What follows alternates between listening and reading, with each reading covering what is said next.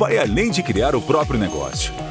Um ecossistema de inovação é o ambiente ideal para o desenvolvimento de empresas e ideias capazes de impactar a sociedade positivamente.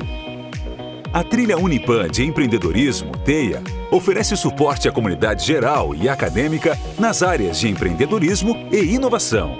Isso se torna possível por meio de quatro importantes atores. O Núcleo de Inovação Tecnológica, Âncora, o Centro de Empreendedorismo e Aceleração de Negócios, Oceano, o Fab Lab e a Farol, incubadora de empresas.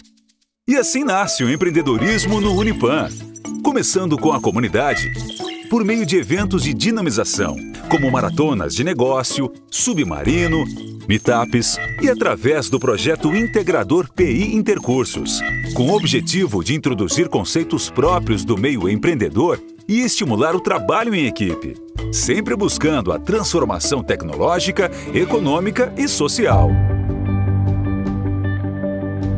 Posteriormente, as ideias desenvolvidas podem ser aceleradas por meio do oceano, que tem como objetivo validar os modelos de negócio no mercado, conseguir investidores e transformar as ideias em negócios economicamente viáveis.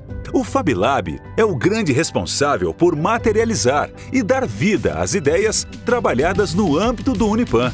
E para iluminar ainda mais o caminho desses navegantes, a Farol Incubadora recebe os produtos ou serviços já validados pelo mercado. Nesse ponto, a incubadora auxilia as empresas recém-formadas a se desenvolverem e garantir o crescimento empresarial e a permanência no mercado.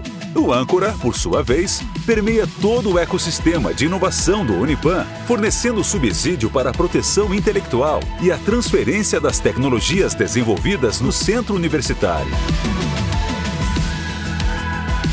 Só a educação é capaz de transformar pessoas. E para o Unipan, o empreendedorismo e a inovação, aqui representados pela TEIA, são a chave para o crescimento sustentável de Patos de Minas e região.